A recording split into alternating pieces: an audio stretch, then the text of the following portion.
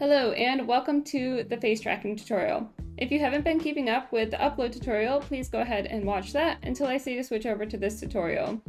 Also, please keep in mind that this tutorial is not going to be on how to use face tracking for VRChat, but instead how to upload your avatar with face tracking. I'll link to some tutorials in the description below that are helpful for different headsets. So the first thing we're going to need to download is this template from ADJerry, and um, again, I'll link this below. So you can go ahead and download the Unity package here. Now you can go over to your Unity project, and I'm going to be doing the PC version for this tutorial, but the process should be the same for the Quest version. So you can now import the template that you downloaded.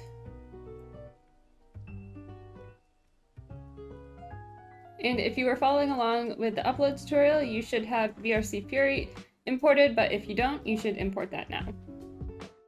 Now we're gonna find our avatar in the hierarchy. I'm doing the one with the long hair, so I'm gonna select this one here with dot long hair. Scroll down until you find your FX layer. It should be under the playable layers here. Hit this button here and search for simplified.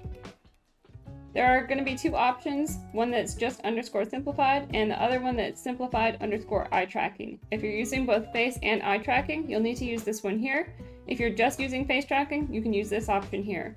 I'm just doing face tracking, so I'm going to use this one, and it should change here. Next up is the menu. Select this and type in main menu. And you're looking for main menu underscore simplified. Last step is the parameters.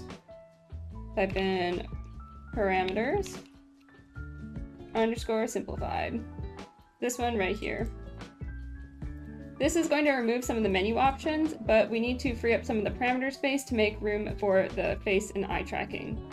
Now we're going to find that package that we imported earlier, so scroll down here, hit the drop down for packages, and we're looking for VRCFT-Jerry's templates. Select that, open up the prefab folder, and then we're gonna find the one that says dash UE blend shapes. So this one right here, and drag that onto your avatar.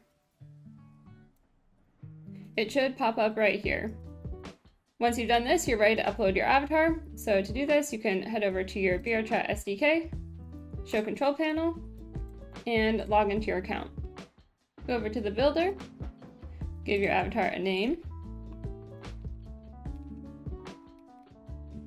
Select a thumbnail. You can either capture one from the scene or select an image like I have here. Hit this checkbox and then hit build and publish and it will be uploaded to VRChat. Thank you so much for watching and if you have any questions feel free to reach out to me through Twitter, email, or Discord.